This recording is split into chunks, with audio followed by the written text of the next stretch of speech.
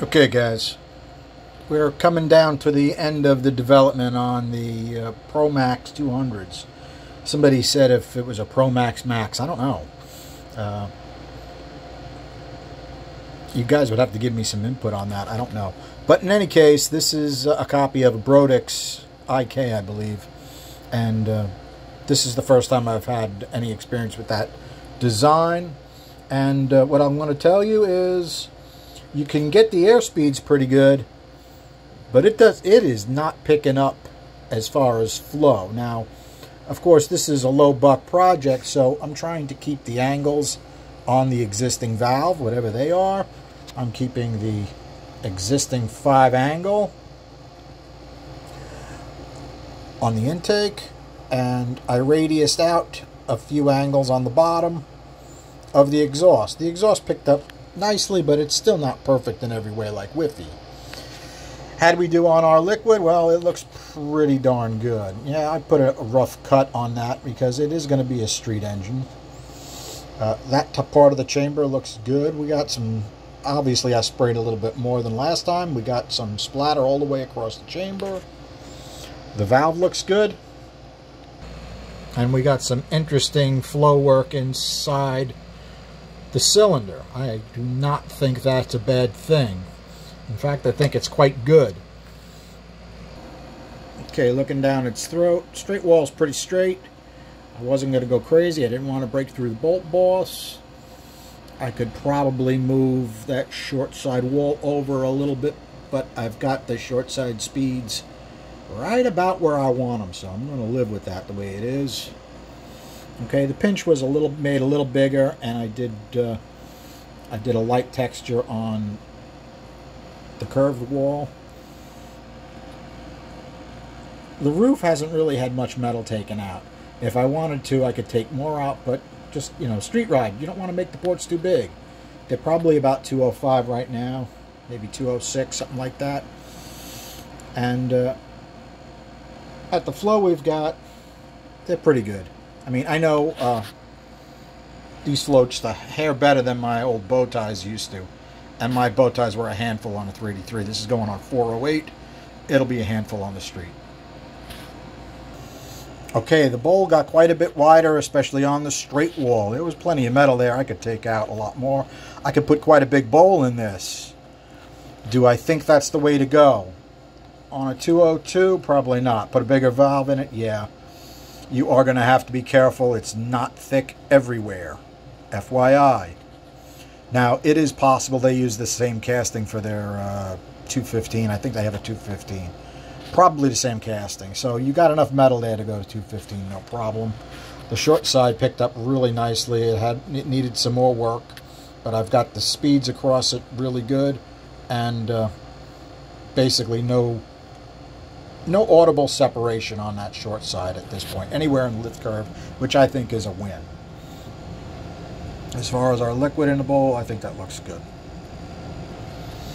Okay, now the exhaust, what I did is I took out some meat right in the middle of that bowl, right by the guide. You can see I hit the guide a couple times with the burr. I was using a pretty, pretty rough burr wanted to give it a little more width because I thought that's where my turbulence was coming from.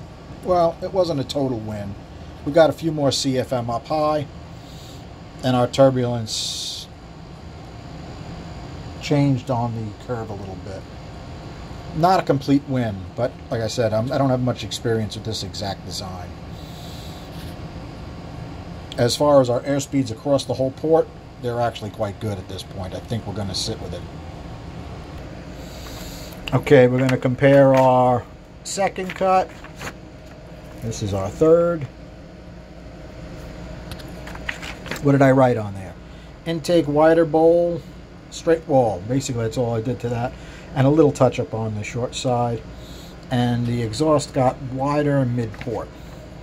How'd we do? Well, this was not a winner, right? This was lose, lose, lose. But we smoothed out a lot up here, which I think is important. This one here, a little gain everywhere. I'm going to take it as a win. We're smooth everywhere. It does go to 290, but you're not going to be lifting it that much. he probably is going to have more than 600 lift on this. So we're, we're in pretty good shape here. You know, it also depends how well that single plane intake manifold gets done up. If they don't do a good job on the intake manifold, this will get knocked down to about 240. Okay, let's take a look. Because I made the bowl wider, it's going to change our swirl. Let's see what that did. Okay, these pluses and minuses are in reference to these.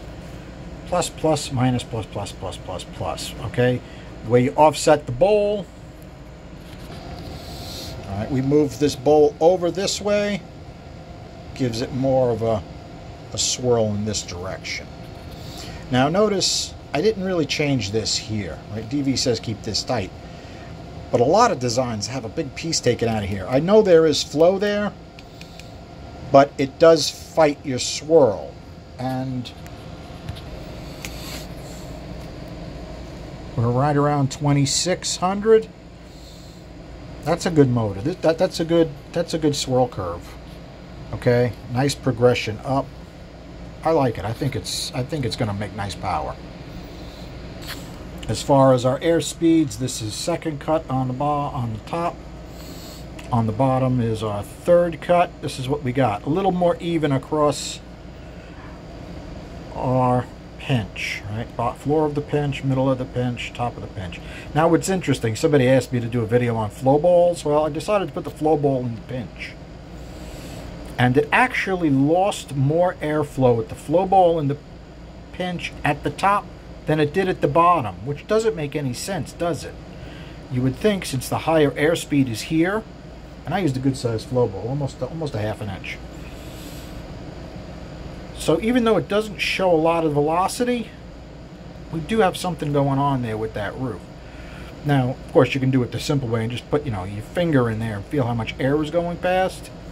That'll also radically change where the air goes. But sometimes that's worth doing a little feel gives you gives you an idea what's happening. All right, as far as the roof of the port, this looked pretty good. We're off by 22. Not bad. What happened? Well, we made that bowl bigger, so we're going to drop our speed on that side. Well, it also dropped the speed on the other side. I did take some off this this wall, but not nearly as much as I took off the outside wall. Because that bowl, I measured a couple other other intake bowls, and that was by far the smallest intake bowl. Which, if you're going to port heads, that's a nightmare. You're starting off with all different size bowls. And then you add in core shift, you're better off not going balls to the wall until you really measure everything. And uh, this is not a balls to the wall project. This is a this is a buddy project, and it's a budget project. Okay.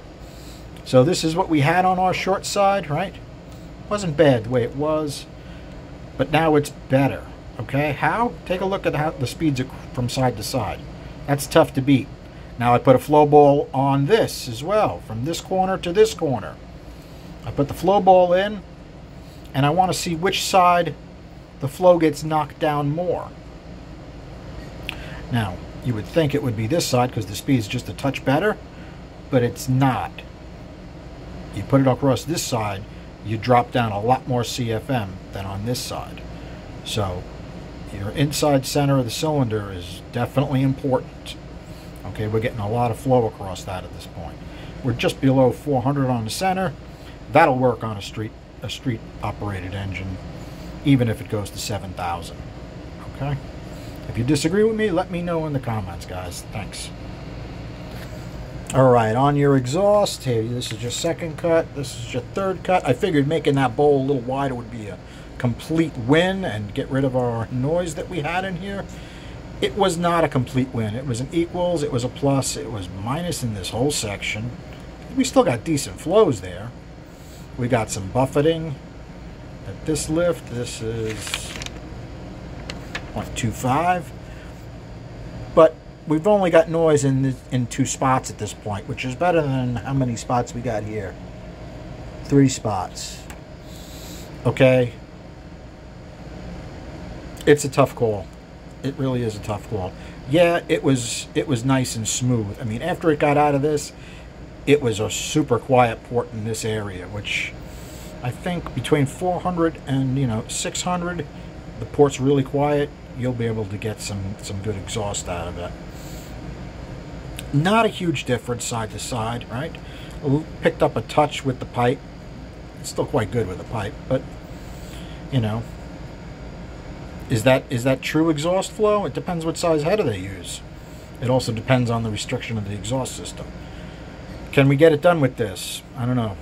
Uh, where we are right now, as far as these numbers right here. Somebody crunch some numbers for me and see how many horsepower we can get out of that on a 408 with 11 to 1 compression.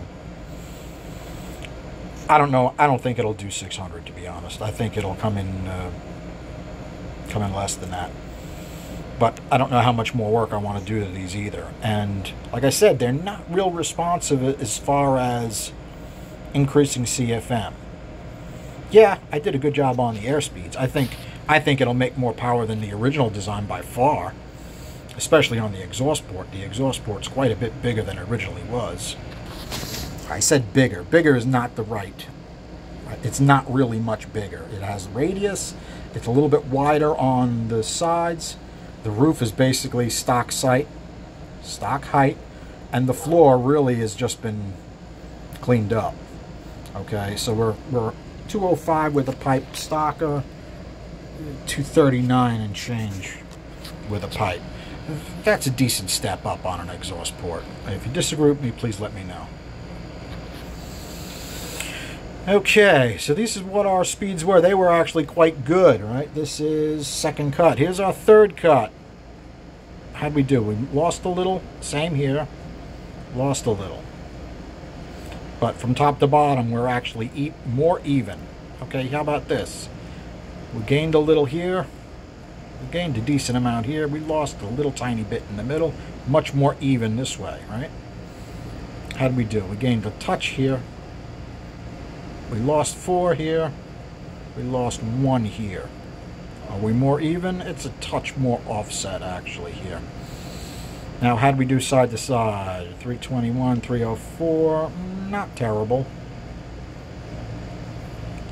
316, 315, it's good. We drop a little speed here, still not bad. In fact, it's a touch more even than it was here. How about this one? Well, this is definitely better because this this floor speed was lower. So if the fatter walls give it a chance to actually uh, stay attached to that floor, which is important. Remember, this port was super quiet at the higher lifts. As far as I'm concerned, you know, quiet is good, right? Noise, noise in the flow, I really don't like. Now, could I fiddle with a radius on the the the leading edge of the valve, yeah, that might make a huge difference actually. But that's not part of this job, okay? Could I try a couple other valves? Yeah, but you know, flow bench time is flow bench time, and I've already spent more time on this these two ports than I'd like. So, what, are, what do we have to say about this? Oh, I did do something interesting for uh, for the guys that care. Let's see if we can show you a little something. Okay, on the bench, while this was at 0.600, right, it's flown right around 200. I took my little flag, which is showing, you know, it's had a rough life, and I brought it like all around the port this way. And what I was doing was, according to Bernoulli, right, if you have high-speed air in the center, what happens to the pressure? Well, it would drop. Okay? So if your pressure drops to your higher air, what should this flag do? It gets pulled towards that lower pressure. But you can see all around the port that there's a different amount of lower pressure at the floor versus the sides and the roof. This was quite even all the way around and it just lost, you could tell it lost some on the floor guess what? If you if you shorten this port up, like a super stock guys do, that would help. All right, I don't. That's why I don't drop the floor at all. But it was interesting to see on the bench. If you guys really really want to, I probably could set up a camera and show you something like that at some point, but that is definitely not in the near future. All right, guys. Thanks for hanging out. Have a good night.